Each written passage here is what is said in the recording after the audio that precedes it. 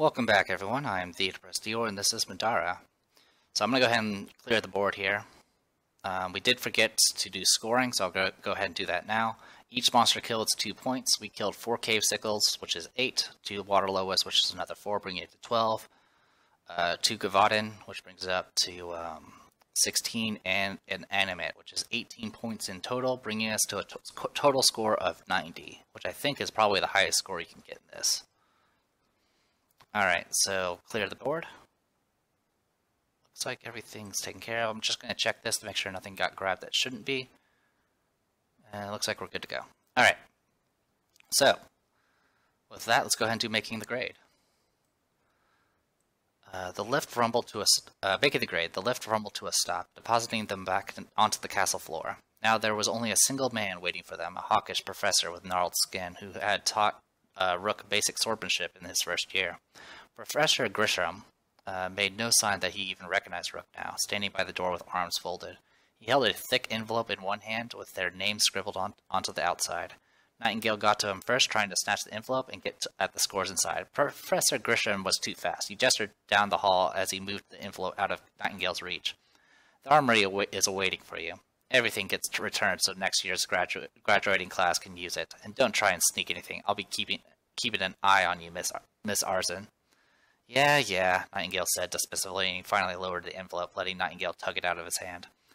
They started walking towards the armory, Nightingale tearing furiously at the envelope as they walked. Even Rook felt his patience running out as he leaned over her shoulder to see. His whole life might very well turn on what was written on that sheet. The doors to the armory were open. Instead of shelves of pre-stocked uh, packs, there were rows of worn-looking chests, each one with a label. A stern proctor named Bardiche uh, gazed through cracked glasses uh, at, at them, both arms folded. Everything except your clothes and those scores goes into the boxes, he said, gesturing around the uh, the room with a worn practice sword. We know exactly what you brought into the mast. Bardiche tossed the sword into a bin, lifting a clipboard and pencil from a nearby shelf. If anything is missing, there's gonna be trouble. Remy raised her hand, clearing her throat. Uh, excuse me, but are, we aren't going out into Alenia unar unarmed, are we? Isn't that, like, against the law? Bardiche indicated a door on the far wall, one that, that had been barred the last time they came through. Once you turn in everything, you go through here, or go through there.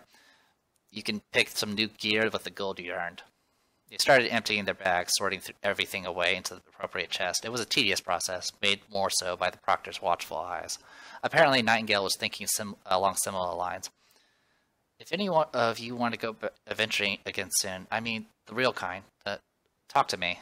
I'll probably have to go away for a few months while I train for the Demiurge, but once I get back, however comfortable Rook may have felt with his new, uh, new friends, he didn't point out the obvious. He was the son of farmers. The odds of him running around Alenia with a princess seemed low. Zeke didn't share Rook's low status, though apparently he had the same reservations. You think your father will let a princess put herself in danger like that? If my father is half as smart as everyone uh, says, he'll be jumping at the chance to train a capable daughter. Adventuring is what make, made our families rich, isn't it? How could he be upset uh, that I want to do it too? Zeke didn't argue. We all wish you the best Knight. When you're the demiurge, I'm, I'm sure you'll do the great things. Yeah, Nightingale smiled, smiled again. Her old enthusiasm seemed to be returning. We all will. They continued to the armory in the next room. Glittering steel hung on every wall swords, axes, hammers, and other weapons. There was armor, too, and a few simple enchantments. Uh, these weren't the relics unearthed from beneath the white vaults, but they were respectable tools. All on the other side of the metal grate, with the quartermaster standing on the other side, arms folded. Nightingale passed their vouchers through the single large opening, grinning widely. Here's our scores! Congratulations, the quartermaster grunted, voice completely flat. He dug a handful of coins out from under the counter and set them down in front of them. Buy what you like, but make sure each of you leaves armed. Add up the points earned through all four mast encounters, then go through the following steps. Return all starter pack weapons, armor, cores, and disciplines. Keep all, any consumables you didn't use. Any gold and items gained during the mast are kept. Determine your mast grade below, then spend gold and XP using the shop and train rules on the next page. Leftover XP and gold is recorded on the adventure sheet. So 60 points gets us 240 gold and 5 experience each. Um, so essentially you really only need 60 points to get the max grade. Uh, the neat, the interesting thing though is the lower your score is, the less experience you get, but you get more gold, um, which is kind of different. Um, So the better you're doing in this game, you'll generally have more experience, uh, but you'll tend to, uh, and the way it kind of balances it out. If you if you're just getting your butt kick, um, instead of getting uh, to make up for your lack of experience, they'll usually give you gold to kind of help you buy some some additional gear. Anyway, we get to keep consumables. We get to return disciplines. So for now, we'll put those there. More than likely, I'm going to pick up Mend because Mend is amazing. Um, we keep consumables, we return everything else. So all of this gets returned.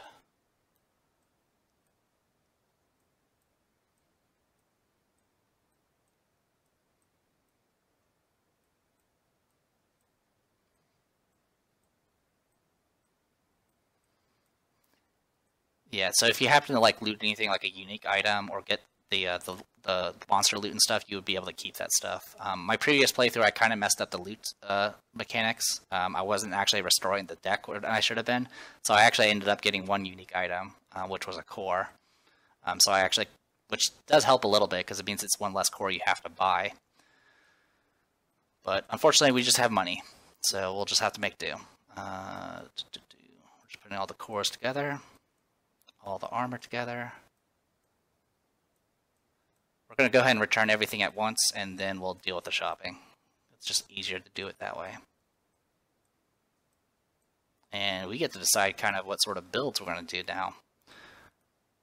So, go ahead and return that to there. Technically, I could just pile all this together and just drop and then do sort, but that's it's fine. We can just do it this way. All right. So a few things to note. Um, so we need uh, that. So the these uh, discipline decks actually have decks inside them, so each by level. So we're just going to do this. That is strange. Is all of them like this? Okay, something happened to the assemblage deck. Okay, I think I fixed it. Um, so I went into configuration, turned off mod cache, caching, and then I reloaded everything, and that forced everything to refresh. Um, so it looks like my things are okay now. If I search, yeah, that seems to be right. Okay, so we got our assemblage. Uh, we need to grab this. All right. So there's all of our Marshall stuff. All right, yeah, looks like everything else is okay. Uh, things are lagging a little bit because I just did like a full refresh of everything. So uh, whenever you turn off mod caching, it literally will load everything every time you load it. So that's a thing that will happen. All right, so we have access to all disciplines, all that good stuff. Um, but first, let's go ahead and take care of this. Five experience each, and then 240 gold. So we're gonna have a total of uh, 363. 363 and then five experience, five experience, five experience, five experience, which is um, uh, level one costs three experience. So we still only have enough to just get one, it looks like. I don't think we missed anything else here.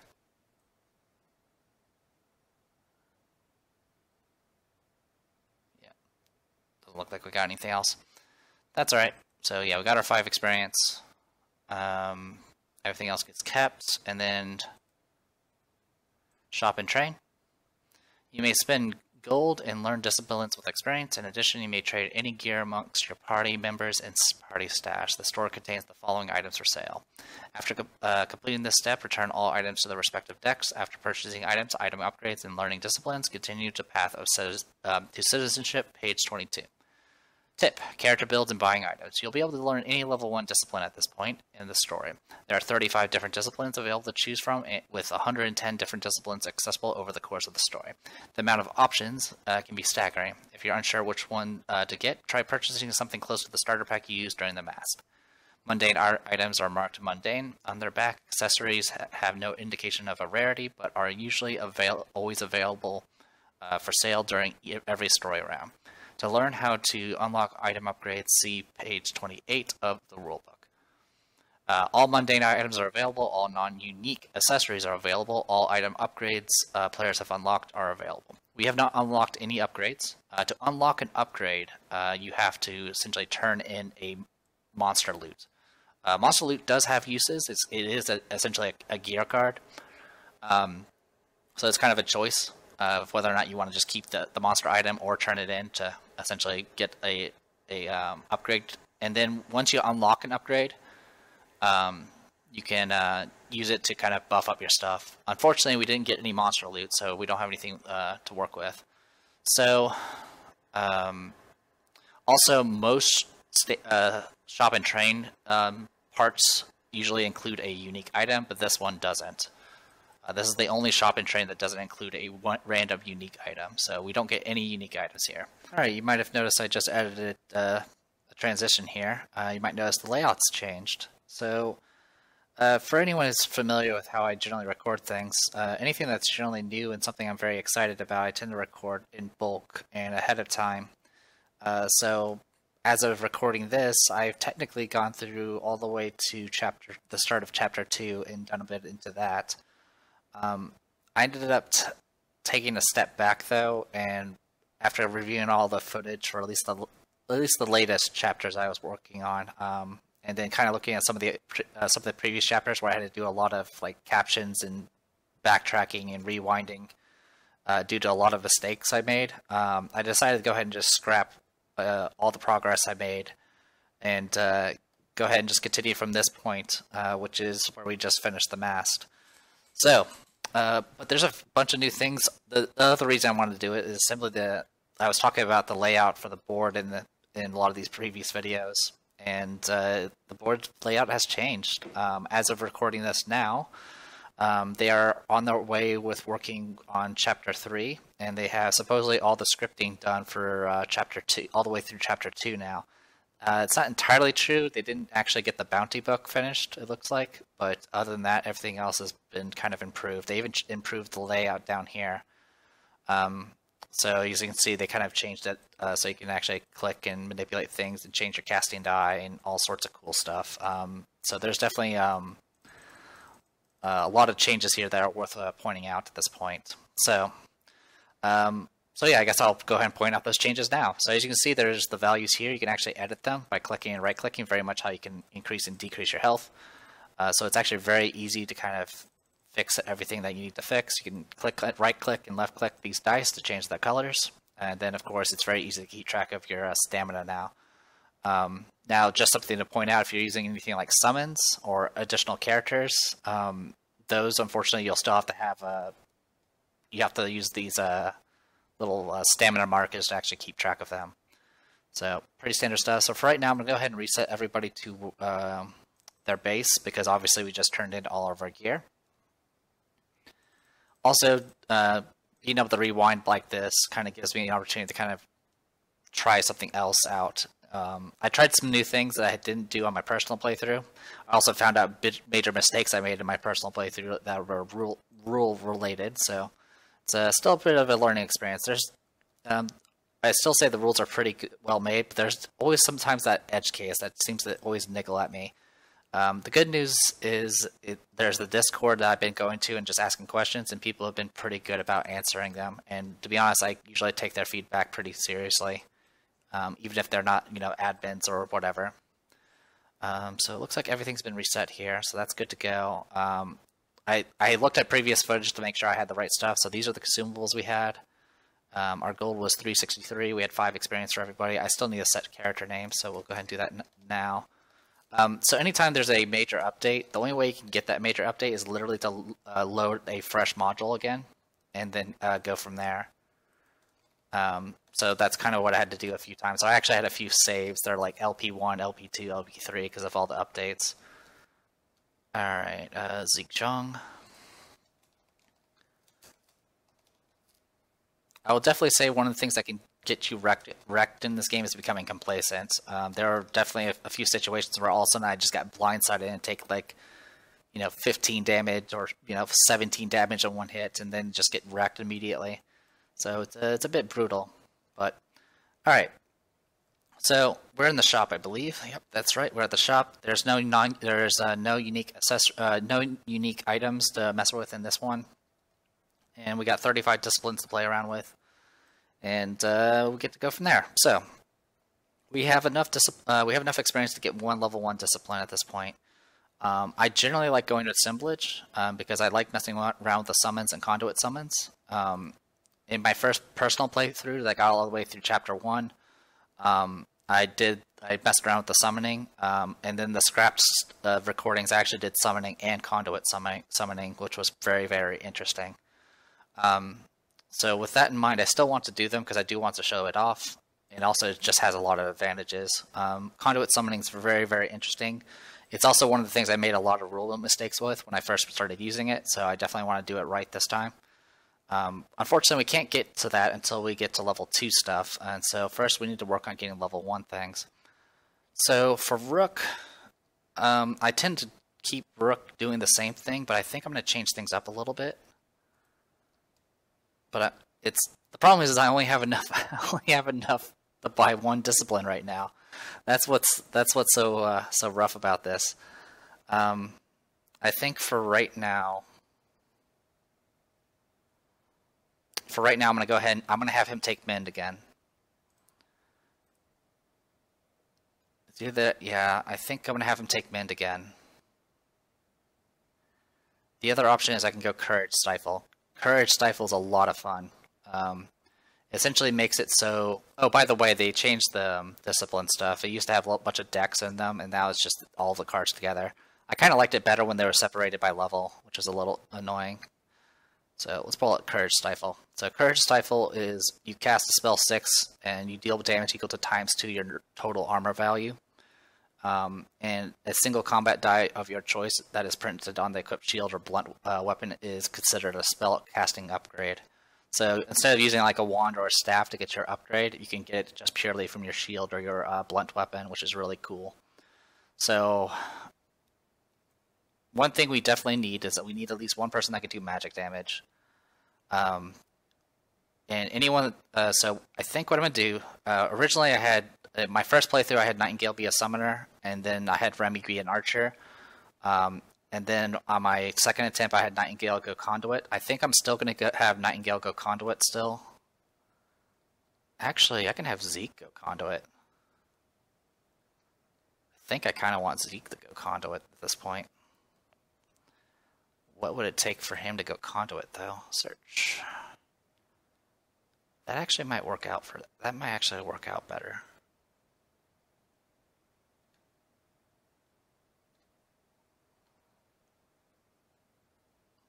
That wouldn't be too bad. One thing... So, one of the... Uh, Zeke is the one character I have the most trouble figuring out what I want to do with him. Um, And I think I kind of want him to go summoning. Or not summoning. Uh, I can have him go conduit. And that would take care of a lot of my issues with them. I think that might be a thing.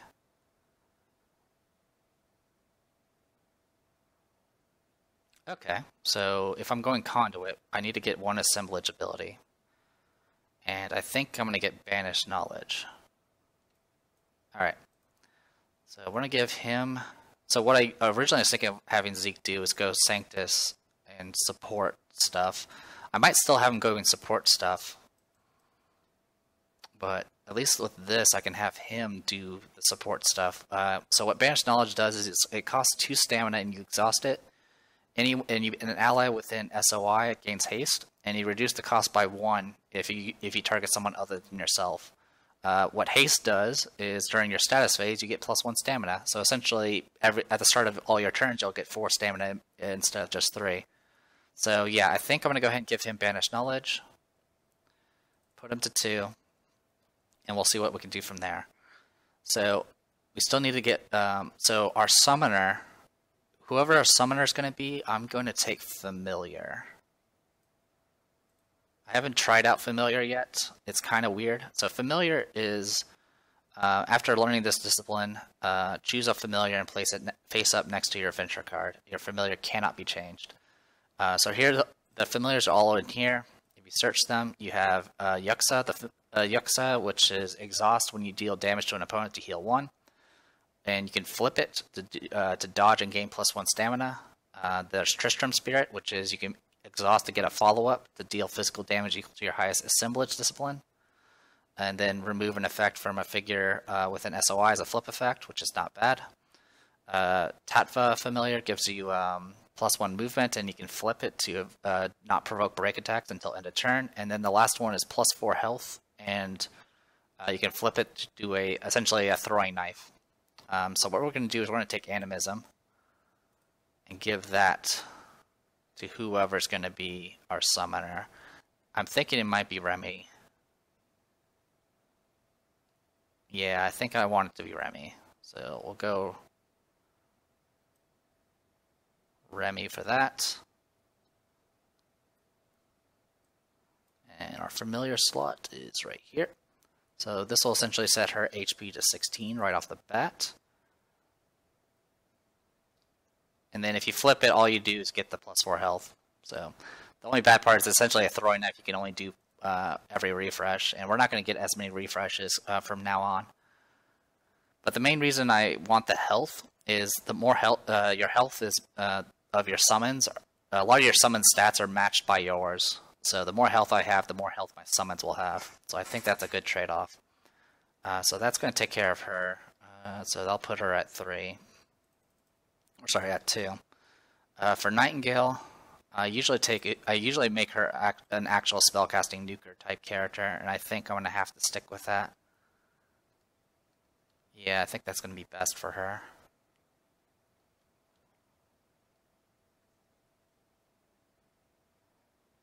Yeah, one way or the other, we're gonna have to take somebody with a spellcast, and Euthan uh, Euthanasia is pretty much the best nuke spell as I as far as I'm concerned. Uh, everything else doesn't the only other magic damage things we could mess around with is something like uh, Sanctus. You know what? I'll have her take Sanctus. Why not?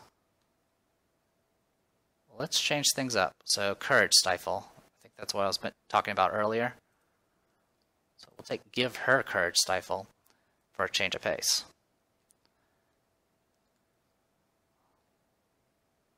It's either that or I make her the healer and then make Rook the, the monster. That might be an option too. Alright, we'll have Rook have that, and then I'll have uh, Nightingale take uh, Mend.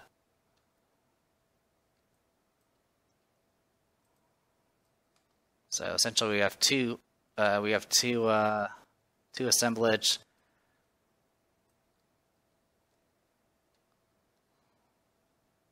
Take a Banish Knowledge, Courage Stifle, and Amend. So she'll end up messing around with these heal tokens from now on. And then I guess the question is, is what sort of weapon do I want her to use? Alright, so we need to start doing our shopping anyway, so let's go ahead and get a. Uh, I want a Warhammer again. Uh, originally I did something like Shield and Axe, like hand axe or something like that. Uh, but I think what I'm going to do for Rook is go Warhammer and Shield. And we want him to have a medium shield.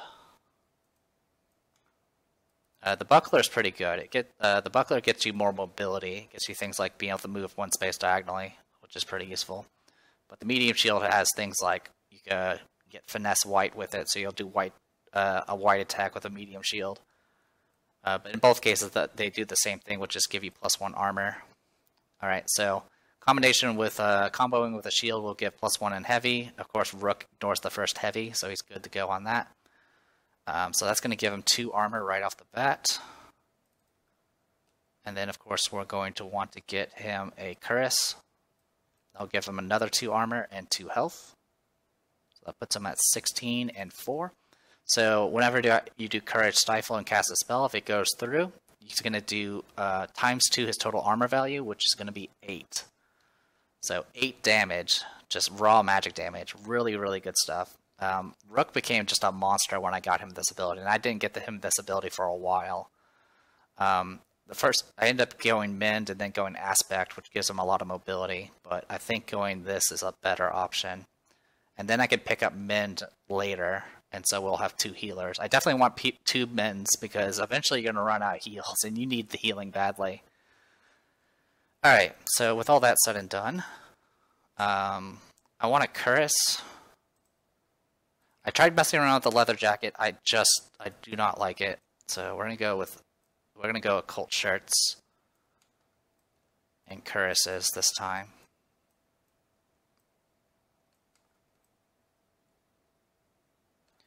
Actually, the leather jacket might be okay for what we're going to be doing. So yeah, we'll actually take the leather jacket. And then we're taking one more Cuirass, and we're going to put that on Remy mainly just for this uh, that once per encounter ability to ignore all physical damage. If a stray hit comes at her, I want her to be ready to just soak it. Uh, the culture will go to Nightingale. Badass Leather Jacket will go to Zeke. So we got that going for us.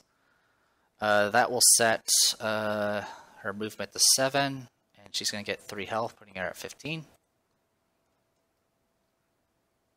And then he's going to get 4 health, putting him at 16, and he's going to get plus 1 armor. She's going to get plus 2 health, putting her at 18. And then plus 2 armor. So we got that going for us. Uh, we need to get some more weapons. You need to make sure you at least get a weapon. I know I'm, i need, I still need to spend the money, but i am going to do that last once we distribute everything. Uh, so for Zeke, um, I did throw, I did throwing daggers, and I just I, it has backstab if you have two thief daggers but it just does not work out. Um, a hand axe does the same amount of throw damage, and you can use it. You can exhaust it if you combo it with another axe to just get another attack if you ever miss. So I think that's pretty good for the early game. Thief daggers by themselves are kind of just meh, and backstab is just hard to set up at early game. Um, in the higher levels, um, thief the, the, various thief daggers will actually get higher in their throw dam their die type, so they'll go from like purple to orange and, and higher and the the axes, the hand axes, will get stronger in general, but they won't. Their throw will still be purple.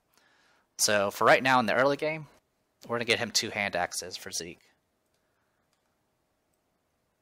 and he'll essentially throw them at his enemies for a big wallop. Uh, one thing I tried doing with Zeke is to go like all throw, but I don't think I'm gonna go all throw this time. I think I like the Banish knowledge strat to get some haste going. Um, so two axes, and then we need to pick a weapon for uh, Nightingale this time. I might make her an archer. I kind of want a ranged weapon. If your your paired weapon doesn't have finesse white, gain finesse white. Plus one armor piercing. That's not bad. And then there's a longbow. I like I like the idea of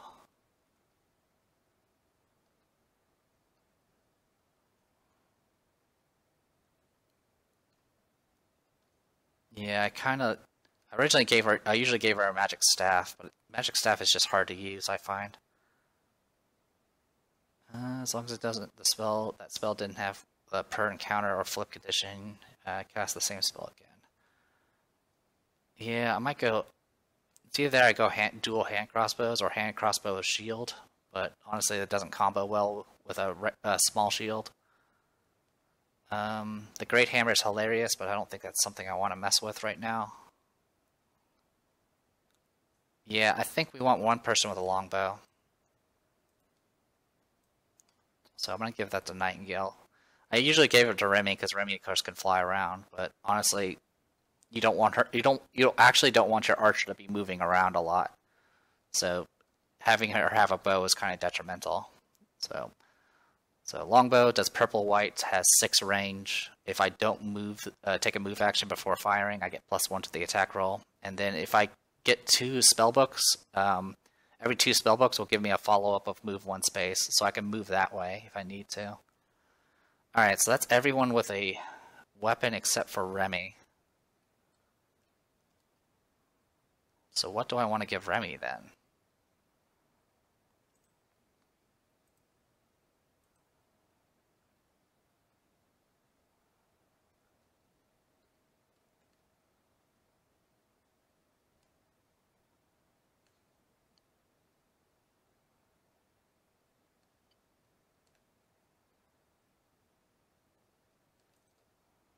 You don't have any spell casting or anything like that. You have a you have one throw, but that's not going to do much. I mean, she doesn't really have anything she needs to like combo really. There's crossbow that does three armor piercing. That's not bad. I tried doing Halberd. I don't really like the reach bonus. It just doesn't work out uh, the way I want it to.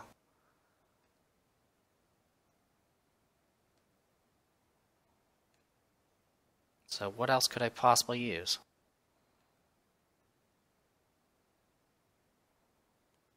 I mean, I can always do War Axe and just go nuts with that, or go double short swords.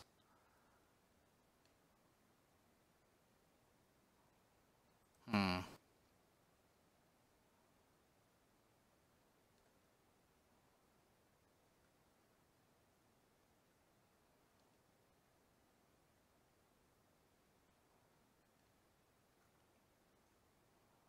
Yeah, whatever I go with, um,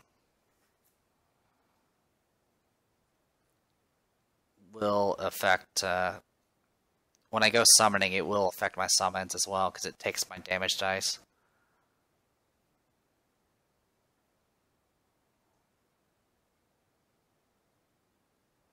So combos with light there. So I can go orange-purple and get some maneuverability. Or go dual wielding long swords and hope I do damage.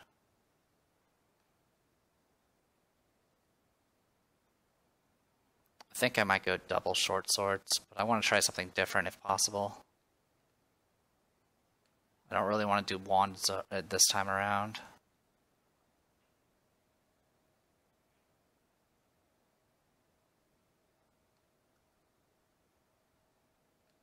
Morning Stars, uh, when countering, you can reroll. Don't really care about that.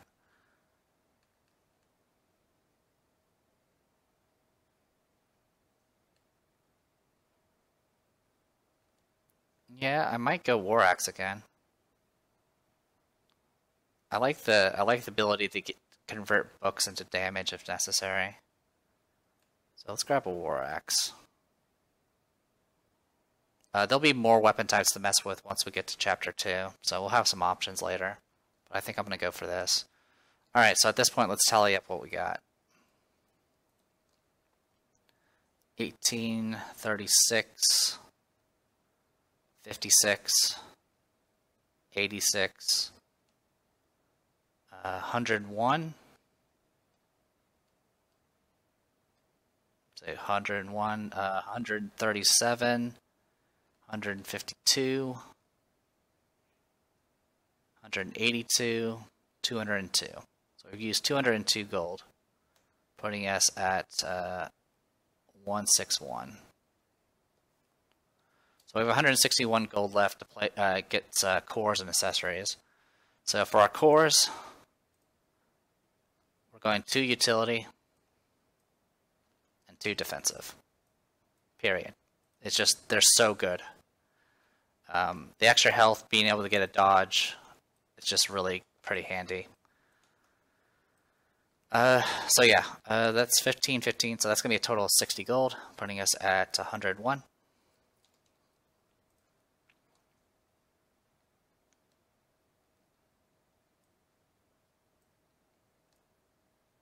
Alright, so I'm okay with you having a utility core you need a defensive core because it increases your health. So that's going to increase your defense to 10, which it already was. It gives you 20 HP. This is the highest HP I've seen so far. Um, that's going to set your conviction to that and give you one defense, which you already got. Uh, so you're going conduit.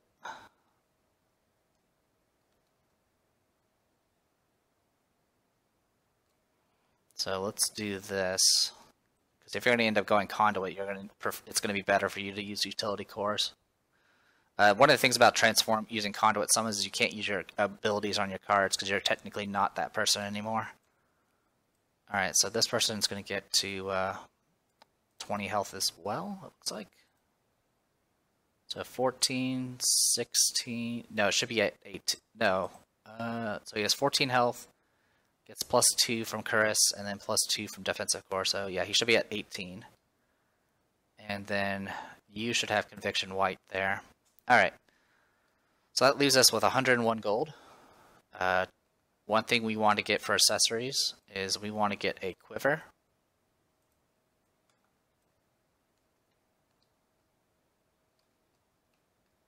Which is 30 gold. Uh, so a quiver makes it, uh, so usually you can only have one arrow relic equipped at a time. Um, but with a quiver, you can have an extra one, and it doesn't take up it doesn't take up a relic slot. So technically, you could have two uh, arrows and essentially another two relics on top of that. Um, also, while you're comboing with archer, you can exhaust this to reroll any single die except black, so it's pretty good for an archer. Um, we'll go ahead and grab one of the arrows. We're not going to grab the other one, though.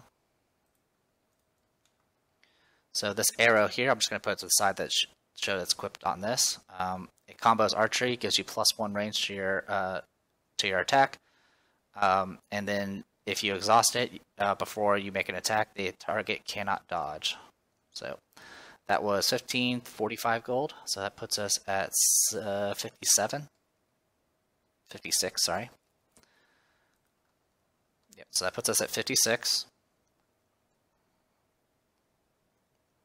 There's definitely a lot of good relics, uh, accessories that we want to mess with, but for right now, I think we want to go ahead and grab some of these other things, if possible.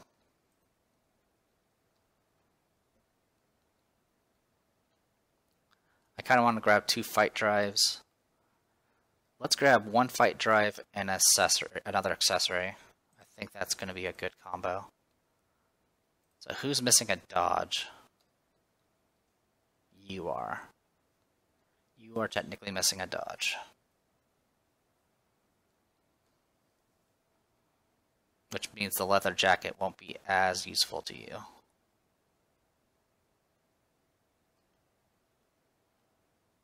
Alright, so we'll spend 30 gold and give him too many belts. Uh, this will give him a dodge, and when he dodges, uh, you reduce his physical damage by 2. So that's 30 gold, him at uh, 26 gold left. And then we'll buy one relic, which is going to be probably a fight drive.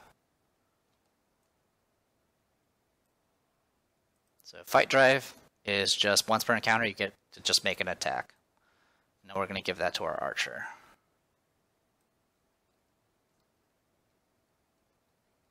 And that'll be 15 gold. That'll put us at a, uh, 11 gold left. I think that's everything. I don't know if this is a good build or not, but it's an option. It will hopefully do some things. So first things first, we're going to pass some of the health items around a little bit. Make sure, let's put you there. Well, actually, you can just get items, so you can do that. You can do that. We'll give Rook that. We'll have you be support person, maybe.